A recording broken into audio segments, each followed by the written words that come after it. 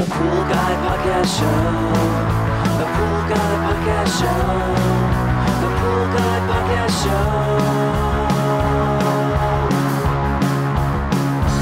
Yeah! Hi, and welcome to the Pool Guy Podcast Show. This is a special episode, episode 1500. And I want to thank all the loyal listeners who have allowed me to get this far in the podcast. I'm not planning on going anywhere at this moment, and I'm going to continue doing these podcasts. But I think this is a milestone episode, and I'm going to go ahead and recap some of the things I do in the industry as well in this podcast. Pool Service Pro. Open a Leslie's wholesale account today and receive wholesale pricing on products you use every day. Leslie's Pool Supply offers convenient locations that are open seven days a week. Another great benefit of opening a Leslie's wholesale account is Leslie's referral program. Get referred to a customer looking for weekly pool service. Save time and money and grow your pool service route and become a Leslie's Pro. I was one of the first pool podcasts out there. I started in July 9th, 2017. So that's about seven years, actually over seven years of podcasting at this point.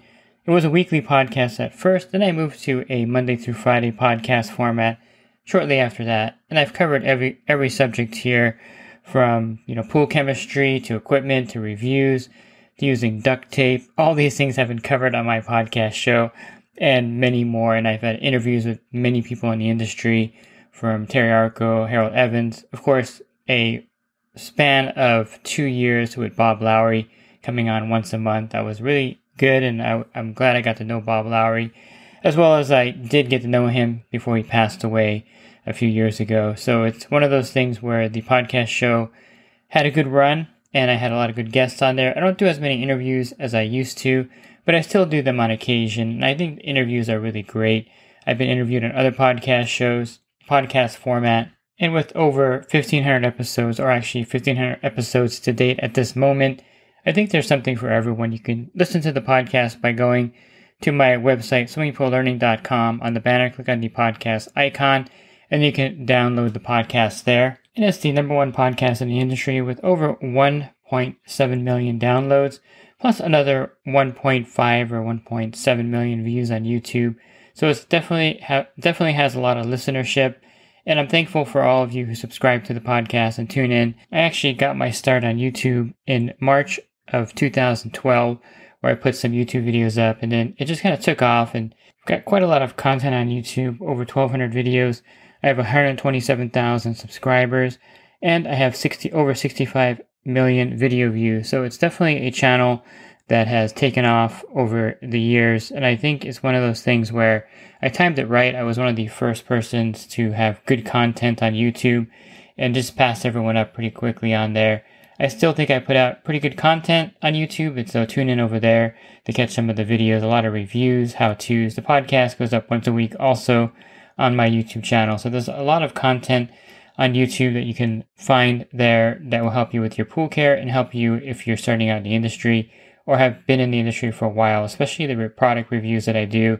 I think you'll find those informative and as unbiased as I can make those reviews. A little bit about me. I got started in the industry when I was 16 years old back in 1988 and it was a family friend that trained me and I just started doing pools for him. I think I worked one week for him and then I just started getting my I got a few accounts on my own. I mean I was 16 with a couple of my own accounts.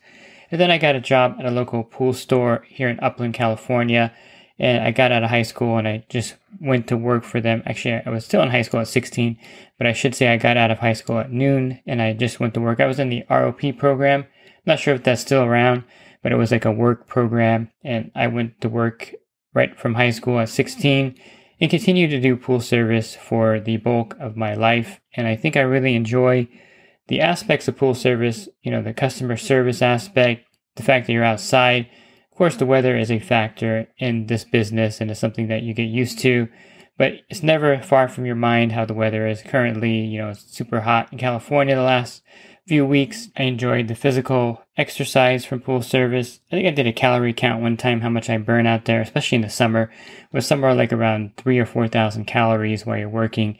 It's not unheard of. You know, it's one of those things where if you want to get in shape, if you start doing this business and you're not in shape and you want to get in shape, you will get in shape because this will keep you pretty active.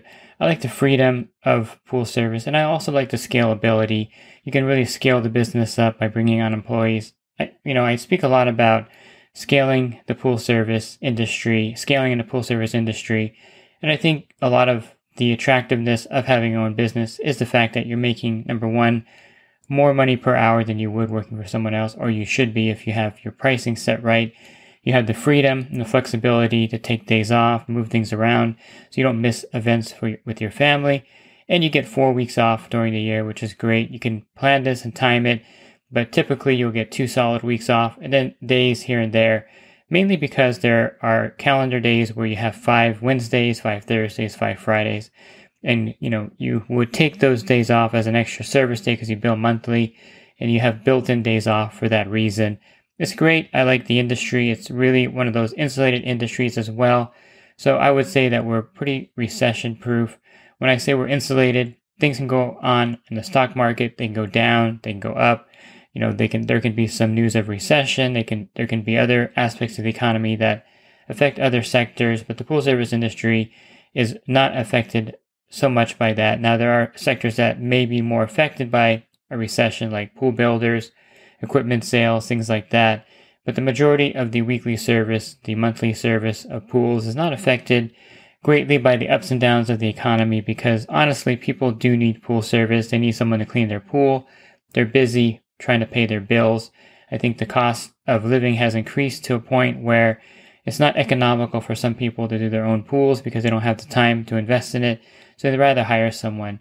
I know there's always talk about like the latest technology putting pool service companies out of business. It was that way back in 2000 when automation started taking off. You had the variable speed pumps. You can, you know, program them and save money on energy. And you can also, there were some more sophisticated automated systems coming out. And of course, lately in the last 10 years, there's a lot of phone app control systems that have hit the market. All of this was supposed to put pool service companies out of business. You had automation as far as the pH, you know, pH pumps or acid pumps, and you had chlorine pumps, things like that. None of this has really affected the pool service industry. In fact, I would say the opposite has probably happened because of the investment in technology and the cost of building a pool has gone up tremendously to where pool service is actually something that's really affordable compared to how much you paid for your pool. Just as an example, in California, in my area, in Pasadena, San Gabriel Valley, if you wanted a pool built, and this is what any builder you call, I've seen quotes and I've compared them for people that have wanted me to say, look at their quote because they thought that it was too high. But for a 15 by 30 rectangular pool with a spa in there, 7 foot spa, 7 foot square spa, and just standard equipment, I don't even think it included automation in these bids. You're looking at $130,000 for that pool, and that's just with the coping, the standard coping with no decking around it. So that's for the equipment, pretty standard equipment, and the pool itself. So you're spending 130,000 for a basic, what I would consider a cookie cutter pool in my area, and that's an investment. It'd be like if you had a Ferrari or a Porsche would you do your own oil change? Would you change your own brakes? Probably not. And the same thing goes with a pool that costs you that much money. You probably wouldn't want to take care of it and ruin that pool because it's so expensive. And so a lot of times people are paying again for the high cost of living and they don't have the free time in their day to do their own pool because it does take time and effort and they'd rather just pay someone to do it. And I find that this to be a real thing here in my area because I can't even give an account away sometimes when I have an account out of my area. Nobody has room on their service for it. I can't give some referrals away because everyone's booked up. And that's kind of how it is in my area. It might not be the same in your area, but a lot of areas definitely have more customers at this point than there are providers in a lot of cases. So it's not super competitive here. And it's something that has been this way since COVID, basically, since we emerged out of COVID there's been a lot of people having pool service companies do their pools. Now, if there's a downturn, you may lose some accounts. I would say 5 to 10% will try to do it themselves. But something else that's really helped the industry is that the cost of maintaining your own pool has also skyrocketed.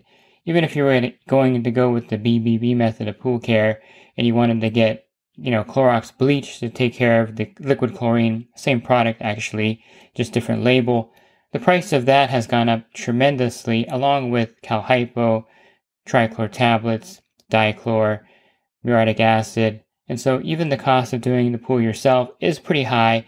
And some people will just throw up their hands and say, well, I, I can't keep the pool blue. It's getting algae. I'm going to hire someone again because they're spending hundreds of dollars on chemicals to turn that pool around. And it's something that has kind of helped the industry in a way, the high inflation of the retail price of everything, forcing some homeowners to get pool service because even doing it themselves and paying for chemicals is unaffordable. And I would say that's probably the biggest change in the industry since we've emerged out of COVID. When we're going into COVID, there was an explosion of people having their pools remodeled, re, you know, built. Groundbreaking on pools was like nine months down the road because everyone was at home and they wanted to make their house, you know, beautiful. Basically, you know, they had turf put in, they fixed up their house, kitchen remodel, whatever, and the pool was a, a component that they put in so there was an explosion of that. Plus, there was an explosion of people actually using their backyard pools. If you've done service as long as I have, many of your customers never go into their pool. I am embarrassed to say I have a pool in my backyard. I rarely go into it now, er, and my son's older. And so a lot of the pools are just decorations. But during COVID, they were used like crazy. Customers that never went in their pool during COVID, they were in their pools. And so, of course, that's going to cause chemical use to go up because the pool is being used. And of course, to add fuel to the fire during that time. Biolab, they had a trichlor factory that burned down due to a hurricane hitting it, causing a fire. So trichlor tablets were, there was a shortage of trichlor tablets. They made a huge amount of trichlor tablets and they weren't making them anymore. So everyone's scrambling for chlorine. And if you remember that era where you're scrambling for toilet paper, you're also scrambling for chlorine at that time. Well, not quite at the same time, but there was a scramble for chlorine, very similar to the scramble for toilet paper. And it just became a problem in the industry where prices started skyrocketing because of the short supply. Now, the supply of chlorine is back to normal. There's plenty of tablets everywhere you go, but the prices haven't quite declined back down to prior to COVID. And I think a lot of that has to do with, of course, the higher cost of labor, the higher cost of transportation, the higher cost of insurance. Everything has gone up significantly, allowing the prices to stay elevated because there's really nowhere to cut. It's not like there's a place to cut as far as, you know, there was a shortage. Yes, we understand why the prices go up. They're down from their peaks, of course, but they're never going to probably go back down below the levels they were in 2000 2021, 2022, because of the higher cost of all the other factors that went into that, you know, the transportation cost of the product, even the buckets that the tablets come in, there was a shortage of that, those plastic buckets. All of this adds to the fact that the inflation in the industry is here to stay, and I'm afraid to say it's one of the biggest changes in the industry. It may not be a change for the bad, because a lot of pool companies, like myself included, I fall in, I fell into this category where we didn't really raise our rates. We were like happy to service the pools for, you know, I it's embarrassing, but 110, 120 dollars back in 2021, you know, even 90 dollars or 95 dollars because there was really no inflation. You can get four gallons of liquid chlorine from HASA for 250. Muriatic acid was like three dollars for a case. You could get 50 pounds of trichlor tablets for $80 a bucket. I mean, it was insanely inexpensive back then, not just not back in the 90s, just five years ago. So, one of the things that this made us do is raise our prices to stay current with the rate of inflation, which has helped a lot of pool companies with their bottom line and made them profitable to a point where now we're actually making really good money even with the inflated cost of everything. So, pool service, I'm just saying here, and I'm going to summarize this by saying pool service is a great industry. If you're thinking about jumping into it, or if you have a pool service company, stick with it. It's definitely something that's not going away. It's a growing industry, a lot of changes with technology, with different, you know, aspects of it, but the main core of pool service is still the same. And I support the industry a thousand percent with my podcast, with all my YouTube channels, and I really think the industry has a place for anyone that wants to jump into it, whether you do pool service, whether you want to work for a manufacturer, if you have a product idea, this industry is definitely right for you. One thing that I always try to put out there, and I, I kind of have a platform, and this is kind of my soapbox issue, is the fact that as a self employed person, whether it's pool service, HVAC, electrical, electrician, any kind of independent business where you don't have that safety net, you don't have a company with a matching 401k, you don't have a pension like a police officer, a fireman, or a teacher, you're pretty much on your own planning your future and one of the things that I'm really big on, and I speak of this often on my podcast, is setting yourself up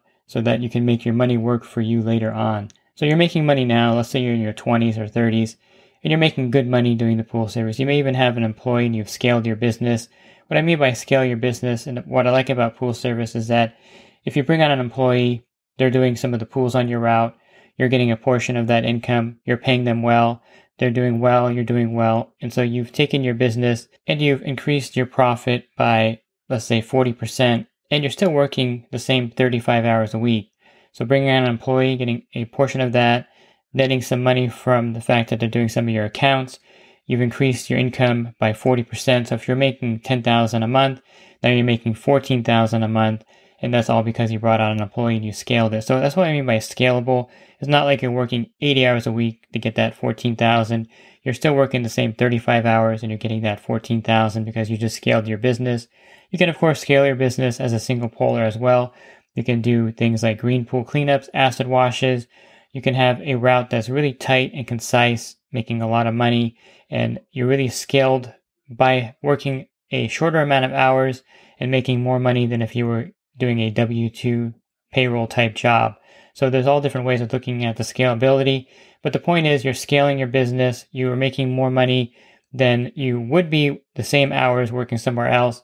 So what do you do with that money? Where do you put it? I like looking at it like a fork, like a pitchfork. You have three roads you can go down with the money you're making in your business. The first fork is to grow your business and make it kind of an empire one of the persons I trained here in my area back in 1990. He has like 18 trucks. He has repairmen. He has so many accounts that when I ask him how many accounts he has, he doesn't even know how many accounts he has. He'll lose accounts sometimes. He'll cancel and he'll still continue doing the pools because they lose track of, you know, it's so big that they even lose track of who dropped out, who canceled. So the person's getting like double pool service in some cases. It's kind of funny, but if you're that big, it probably something like that would happen. So that's one fork of the road you can take. Of course, you don't need to have 18 trucks, but you can have one or two employees and grow your business and make it substantial. And maybe you can even step back and have someone manage the business while you're kind of just running things behind like the Wizard of Oz kind of thing. So that's something that you can do. And that's some that's a good investment for your money. You're investing it into something that you know a lot about, something that's stable, which is a small business that's run correctly.